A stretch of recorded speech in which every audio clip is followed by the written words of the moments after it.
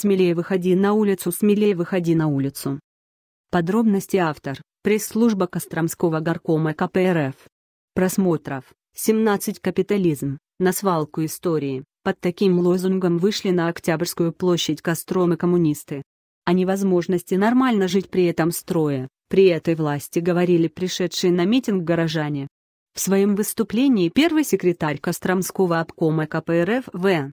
Ижицкий отметил, что сейчас страна разрушается, в городах нет производства, плохи дела и на селе, где зарплата у людей просто нищенская.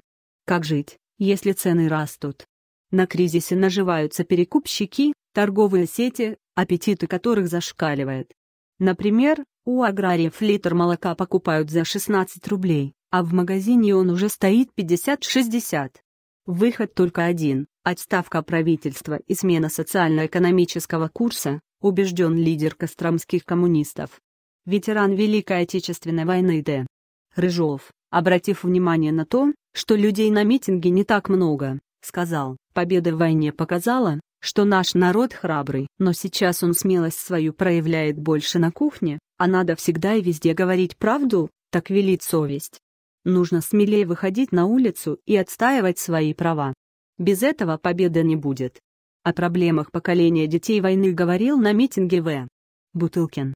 Закон о мерах соцподдержки этой категории костромичей единороссы обещали принять еще накануне последних выборов в Госдуму. Три года уже прошло, а обещанного закона как не было, так и нет.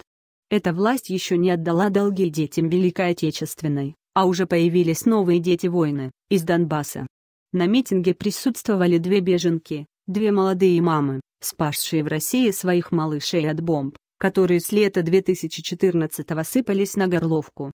Смерть мирных жителей, жизнь впроголодь в подвалах, инфекционные заболевания у детей – вот чем обернулась для юго-востока Украины ликвидация советской власти. Так через 70 лет после окончания Великой Отечественной фашизм вновь убивает.